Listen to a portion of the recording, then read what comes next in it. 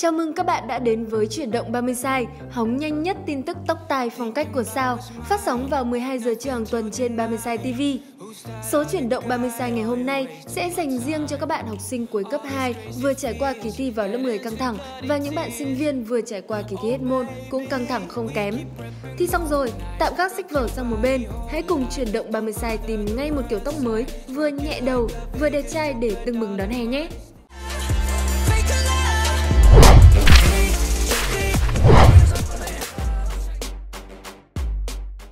Nói đến kiểu tóc đẹp trai cho mùa hè thì chắc chắn Sport phải nằm ngôi đầu bảng.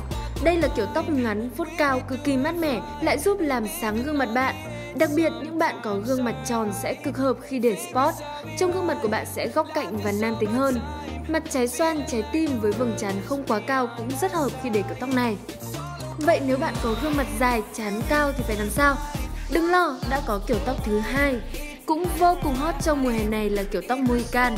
Mohican được cạo sát hai bên mai, phần mái để dài vút đổ về phía trước. Chính nhờ chút mái nhẹ đó mà Mohican rất hợp với những bạn có trán hơi cao và gương mặt dài. Mohican còn giúp bạn ăn gian thêm 3 đến 5 cm chiều cao nhờ phần tóc vuốt dựng này. Thao hồ tự tin khi đi bên cạnh lũ bạn hoặc đứng cạnh crush rồi nhé. Cả Sport và Mohican đều đảm bảo tiêu chí đẹp trai mà vẫn rất ngoan hiền. Nếu để màu tóc đen nguyên thủy thì không lo giáo viên chủ nhiệm và cũng không sợ bị mời phụ huynh.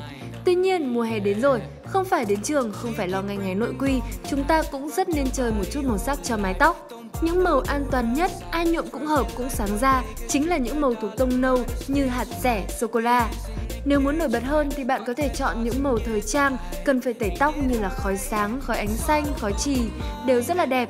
Tuy nhiên, lưu ý là càng những màu sáng thì lại càng kén nước da. Những bạn có nước da trắng thì có thể thoải mái lựa chọn màu sắc, còn những bạn có da ngăm thì nên cân nhắc kỹ một chút. Tuy nhiên mùa hè mà, tóc có thể mọc dài ra và nhuộm lại, thế nên các bạn cứ tự tin chơi những màu sắc mà mình thích.